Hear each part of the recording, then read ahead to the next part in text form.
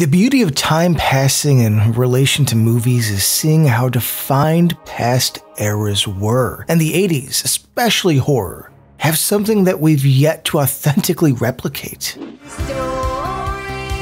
You f***head. And Night of the Demons just may be one of the best hodgepodge examples of everything right from the decade. Simply the perfect concoction of 80s horror. It's a practical effects driven haunted house story one that puts its focus on being gory, offensively funny, and all around horny. In its purest sense, Night of the Demons is a party movie. And in terms of vibe and tone, there's one scene that defines it.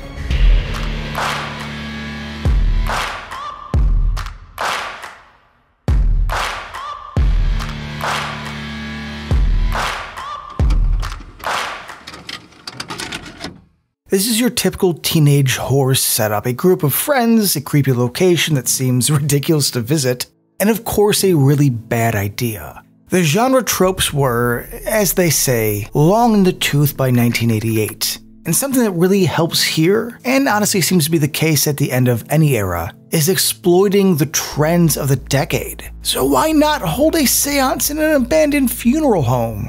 Our goth queen Angela gathers a crew of misfits for an oddly selective party. And real quick, I'm not sure how much of this aspect is tongue in cheek, but uh, I love that nobody here seems to be friends. It's not a group of old chums with, you know, a few stragglers. No, no, no. But a handful of pairings that don't seem to connect with anyone else, outside of being basically aware that they exist. Of course, the seance goes to shit, and the demonic entity starts turning everyone into possessed monsters. The Demons is not about breaking new ground, but an exercise in understanding what works and how to do it right. Directed by Kevin Tenney of Witchboard fame, you know what, he really needs to get a bit more credit for giving Night of the Demons such life. The mood here is directly tied to his wise framing and shot compositions. You know, Tenney wasn't one to coast his way through, and honestly, not that this type of horror needs uh, artistic direction, but it really elevates the fun schlock. The way a scene is framed can instantly set the tone. The constant movement and energy brought here lends to the snappy pacing and helps energize a simple haunted mansion, uh, mortuary thing that our characters are in. Think the corridor point of view of the summoned demon to the low angle shots. Well, it's simple, but it does so much. We get rapid cuts and dynamic camera angles. Something as simple as the group discussing what just happened through broken shards of mirror. Dude, it's perfect. Tenney's artistic eye alongside the fun gore effects gives Night of the Demons a certain tone that is unique to itself. It's both preppy and punk, mean spirited yet goofy, while being as horny and violent as the peak of the early to mid 80s were. And what's against the grain is, mostly, the story is stacked with lovably unlikable archetypes. Stooge is such a prick he may just be near the upper echelon of 80s bullies. You cannot take this bitch anywhere! Sal seems right out of the Bronx, yet lives in this quaint rural town. Hilarious and dickish, I do love that he actually gets a mini character arc here. Jay immediately ditches Judy, his date for the night, the second he doesn't get to third base.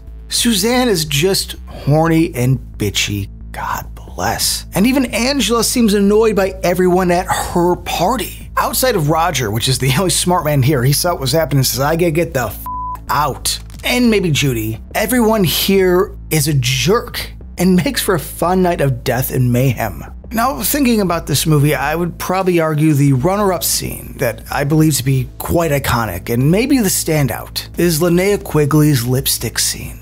The tone of the movie is firmly over the top, but this, this scene, this quiet moment of body horror, feels so uneasy. Suzanne, who is patient zero in the demonic possession chain, is alone in a room and starts to use her lipstick to draw on her bare chest. Meant to be both sexy and eerie, it's for no one but us, the characters alone. Just showing that the entity, the demonic force, is more than just about killing, but playing with its food, if you will.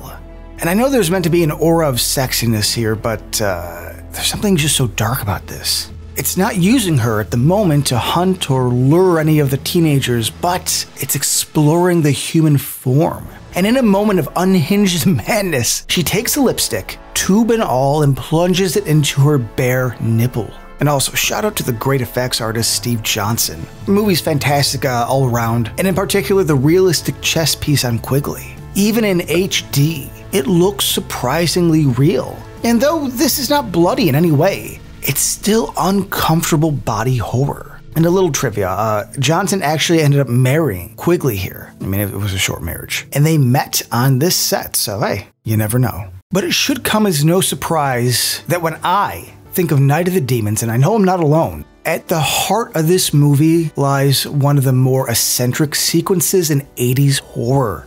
The defining scene Angela's Dance, set to the haunting punkness of Bauhaus's Stigmata Martyr. It's transcendent, hypnotic, strange, and of course iconic. This is the scene that defines why Night of the Demons has become a cult favorite. Kinkade's commitment is the reason this feels so authentic. She made the dance up herself. As the demonic possession is overtaking Angela and as Sal, disappointed that his New York charm isn't getting him laid, sits alone and she enters horny, strange, and confident. Music kicks in, nice fear sticker by the way, and Sal does what anyone would. He sits in bewilderment. What the f is going on? Listen, this entire scene is both hot and discomforting. And Tenney letting his actress just wing it and vibe was a brilliant move. Dressed in a Siouxsie Sioux-esque dress, which Kinkade totally pulls off. She moves with an ethereal grace. Of course, the music is a brilliant choice that has that driving, catchy beat, but it's set around a chaotic and jagged rhythm. Angela's fluid, animalistic movements. Again, she's just vibing, but you're completely drawn in. And in a modern era, this scene would not exist. This is a full two minutes of wavelength, with fireplace lighting, strobe lights flickering, and drenched in the warm colors of red and orange. Nothing is gory, it's not scary, but it's directed and performed like a trance. It's the switch in the movie from ah, strange things are afoot to oh, we are f***ed. This is Angela's transformation into a vessel for evil. And though Quigley was the first to get it, this is where Angela becomes the de facto leader, the true antagonist. This isn't just a dance, it's a ritual. One that fully plays out and gives Night of the Demons its own sort of magic. Remember, friends, don't be tempted by the dark eyed sirens, even if their dance seems like a portal to bliss.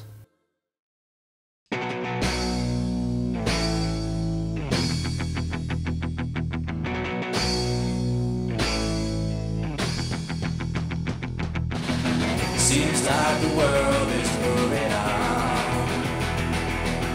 Didn't stop to look around. Didn't give a shit if you crashing down. You can close your eyes, but not your skin. Don't believe what you refuse to see. Won't find a way in. Well, I can't ignore a certain pain.